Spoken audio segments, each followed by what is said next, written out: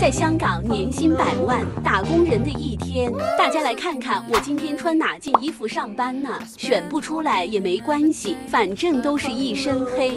还没到公司就开始上班了，老板，你看见了吗？好诱人啊！今天的早餐，我带薪吃早餐，同事带薪化妆，快乐的工作又开始了。同事偷拍我忙碌的身影，其实我是要去吃午餐了。冬虫草鸡乌冬，好补身啊！呢个。先来口汤，超级鲜。没错，我又在吃面了。我都怀疑我上辈子是山西的。今天放工我就不回家，我就去剪头发了，因为开机都已经长了。还有呢，有些白头发都出来了。